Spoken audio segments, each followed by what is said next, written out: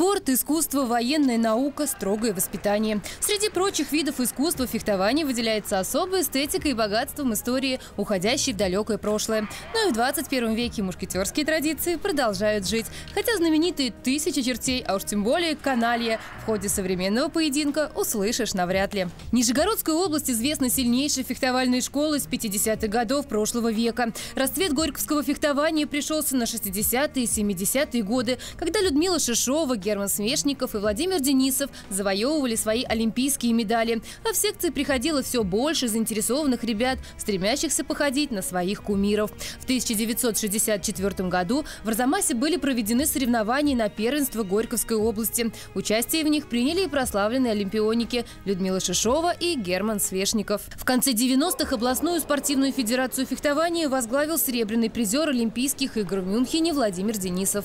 В 2008 году на пост президента Федерации был избран мастер спорта СССР по фехтованию. Генеральный директор Арзамасского приборостроительного завода имени Пландина Олег Лавричев. С этого момента начался новый период развития Нижегородской школы фехтования. Спортсмены добиваются высоких результатов. О них узнали в стране и в мире. Фехтование стало широко развиваться и в районах области. Появилось много новых перспективных ребят. Вновь начинают свою работу когда-то закрытые спортивные школы по фехтованию. Четыре года назад в Арзамасе открылась первая секция фехтования. Инициатором ее создания стал Олег Лавричев. О клинках он знает не понаслышке. Все-таки сам мастер спорта СССР. После проведения в нашем городе семи российских первенств среди кадетов и юниоров даже самым скептически настроенным стало ясно, что фехтование в Арзамасе – это всерьез. И похоже, что надолго. Я очень рад, что мой любимый вид спорта, которым я занимался, серьезно занимался – сейчас получил дополнительный импульс развития на территории Нижегородского региона и э, города Арзамаса. Естественно, я испытываю э, удовлетворение чисто человеческое. Вот. И у нижегородцев, э, фехтовальщиков, э, сильные очень традиции. Среди них много э, спортсменов э, высшего спортивного уровня. Олимпийцы, серебряные чемпионы Олимпийских игр – многократные чемпионы мира, Европы. Поэтому ребятам есть с кого брать пример. Я надеюсь, что все больше э, ребят и девушек будут приобщаться к этому э, интересному, развивающему не только э, спортивную выносливость, но и интеллект виду спорта. Сергею всего 15. Пришел в секцию за компанию с друзьями, да так и остался. Говорит, зацепило. Это зрелищно, раз, развитие физическое необычно держать боевую саблю. Развитие духовное также. В его спортивной копилке приличное количество наград, завоеванных мальчишкой за три года. Именно столько Сергей занимается в секции. Тренирует его мастер спорта Вадим Карпычев. Именно он разглядел и помогает развивать своему воспитаннику лучшие профессиональные качества. Быть фехтовальщиком без преувеличения тяжелый ежедневный труд, если, конечно, хочешь добиться спортивных результатов. Поэтому долго думать о недавней победе некогда. Впереди вновь ждет большая и, несомненно, плодотворная работа. В 2012 году в Федерацию фехтования России была подана заявка на проведение первых первенств страны среди юниоров и кадетов в Арзамасе. Заявка была одобрена. Теперь организаторам предстояла большая работа. Ведь все должно было пройти на высшем уровне. В успехе организаторы не сомневались. Координацию действий на себя взяли областное правительство, Федерация фехтования Нижегородской области, крупнейшие предприятия города, первым в списке которых был Арзамасский приборостроительный завод. В начале 2013 года в Арзамасском ФОКе состоялась состоялась торжественная церемония открытия российских первенств по фехтованию среди юниоров и кадетов. На ней присутствовали руководители Российской Федерации фехтования, тренеры, лучшие судьи, именитые спортсмены. Так олимпийские чемпионы и призеры Олимпийских игр Станислав Поздняков и Сергей Шариков еще не раз потом приезжали в Арзамас. В это время в город прибывали сильнейшие юниоры и кадеты страны. Соревнований такого уровня Арзамас еще не видел. В свою очередь, гости были поражены европейским уровнем организации турнира, которого совсем не ожидали ожидали от провинциального города. Кроме слов благодарности и восхищения, э, в общем-то, я не могу ничего сказать, потому что э, за последние три года второй раз э, Нижегородская федерация фехтования организовывает крупнейшие соревнования, всероссийские соревнования. Позапрошлом году это были соревнования среди кадетов в Нижнем Новгороде, сейчас это и юниоры, и кадеты в Арзамасе. Безусловно, те условия, в которых проходят соревнования, являются достаточно серьезным показателем да, э, подготовки, э, подготовки организационного комитета к этим мероприятиям. Я думаю, что на, такие, э, на таких партнеров, э, как Федерация Нижегородской области, мы будем равняться в будущем.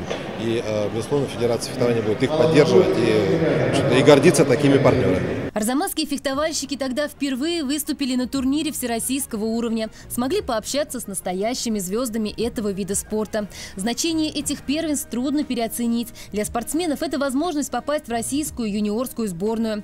Главным событием того первенства для тех, кто болел за нижегородцев, стала блестящая победа кадета-рапериста Алексея Чуева, завоевавшего золото в личном турнире. Офигенно, очень круто. Правда, очень хотел. И получилось, да. До последнего, правда, не верил, что я нанесу этот укол последний, но вот она просто, просто эмоции переполняет. А вот в командных соревнованиях нижегородские саблисты уверенно взяли серебро первенства 2013 года. Лидер команды Александр Васяев вошел в состав российской юниорской сборной. Сегодня организаторы турниров говорят, что идея привести в Арзамас всероссийские первенства здорово сработала. Школьники своими глазами увидели, что же такое спортивное фехтование. На трибунах просто не было свободных мест. Сегодня в желающих почувствовать себя рыцарями клинка недостатка нет. Ведь научиться фехтовать можно практически в любом возрасте. И вовсе не обязательно становиться профессиональным спортсменом. Можно просто записаться в секцию и пока остальные тратят время на общение в соцсетях, вызвать кого-нибудь на настоящую дуэль. Занятия в секции 5-6 дней в неделю. Днем школа, вечером часы изнурительных тренировок. Металлический звон в спортивном зале не утихает ни на минуту. Так юные спортсмены постигают азы спортивного фехтования. Одну группу фехтовальщиков сменяет другая.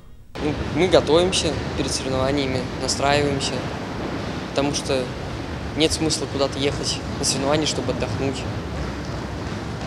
Там вкладываемся, на, стараемся на сто процентов. Спорт воспитывает характер. Ну, что никогда не надо сдаваться. Всегда бороться до последнего. Дисциплина в секции прежде всего. Но своим воспитанникам, тренеру Вадиму Карпучеву это объяснять и не нужно. Из-за огромного желания добиться успеха эти ребята старательные ученики. За их впечатляющими спортивными результатами стоит каторжный труд. Спорт рыцарей и интеллектуалов давно превратил провинциальный Арзамас в фехтовальную столицу России. И это признают на самом высоком уровне.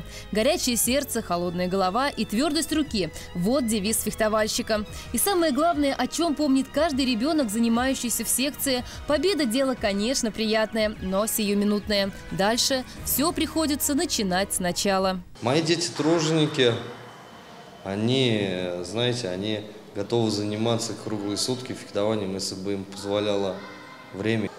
Они молодцы, они пашут, они хотят, они видят, что мы можем, они на данном этапе поверили в свои силы. В 2014 году Арзамас вновь собрал всю юную фехтовальную элиту страны. Борьба за путевки на первенство Европы и мира шла нешуточная. Страсти были накалены до предела. Конечно же, слезы поражений, радость побед и боль от травм – неизменные спутники любых соревнований. Но в итоге это всегда обязательно зрелищный, великолепный спортивный праздник фехтовального искусства. Сегодня можно с уверенностью сказать, что установленную Российской Федерацией фехтования высокую планку арзамасцы взяли. И в этом огромная заслуга Федерации фехтования области, слаженная работа которой за это время помогла совершить настоящий прорыв популяризации этого вида спорта. В Арзамасе открылись и действуют секции, в которых взращивают саблистов и шпажистов. Так наши мальчишки и девчонки получили возможность выступать не только на всероссийских соревнованиях, но и на первенствах Европы и мира. Вадим Карпачев, по словам своих учеников, тренер строгий, но справедливый. И даже добрый. Но это только до той поры, пока не придется выходить на серьезный результат. Мягким здесь быть сложно. Вряд ли случится, что соперники будут поддаваться. И, наверное, в этом случае, выражаясь образно, лучше получить один удар от тренера, чем десятки от соперников. Я их всех помню, э, каждого поголовно, кто как пришел. И, видно было у детей, которые, наверное, спустя полгода, а начали они заниматься все с октября 2012 года. Пришло очень много народа, и, знаете, вот э, многие тренеры в России, которые заслуженные, титулованные, они мне, как молодому тренеру, говорят, что первый набор, он всегда золотой. Ну, как бы из их практики. И вот действительно первый набор, который прошел в Арзамасе, Из них э, сейчас на данном этапе, спустя три года, 80% детей удержались и остались заниматься фехтованием. Тогда же, в 2014-м, окрыленные успехом организаторы озвучили идею проведения в Арзамасе первого в истории детского первенства страны. От идеи до воплощения прошло немногим более года. И осенью в третьем спортивном переулке вновь появились автобусы с юными участниками российского детского первенства. За те четыре дня, что шли поединки, слово «впервые» вообще часто звучало. Впервые в Арзамасе прошло детское первенство. Впервые в таком мероприятии приняла участие команда из Севастополя. Казанский шпажист вошел в историю фехтования как первый чемпион соревнований для спортсменов не старше 15 лет.